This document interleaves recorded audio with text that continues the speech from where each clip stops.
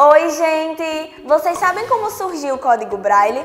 Tudo começou a partir da necessidade de acesso à cultura escrita sentida por Louis Braille, que aos 3 anos de idade perdeu a visão em um acidente doméstico na França.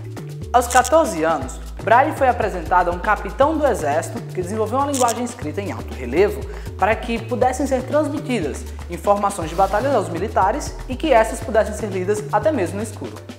A invenção era bastante complexa. Mesmo assim, Braille sentiu-se inspirado e, na sua adolescência, decidiu realizar alguns experimentos. E aos 16 anos, ele já julgava ter algo funcional. Surgiu então um alfabeto em relevo de leitura tátil, utilizado até hoje por diversos países como ferramenta indispensável para a autonomia das pessoas cegas. A invenção recebeu o nome de Código Braille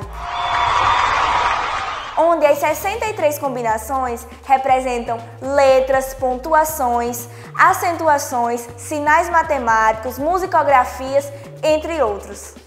Em 1854, o Braille chegou ao Brasil, trazido por José Álvares de Azevedo, que aprendeu a utilizar o código ainda na França e se tornou, então, patrono da educação de cegos no Brasil.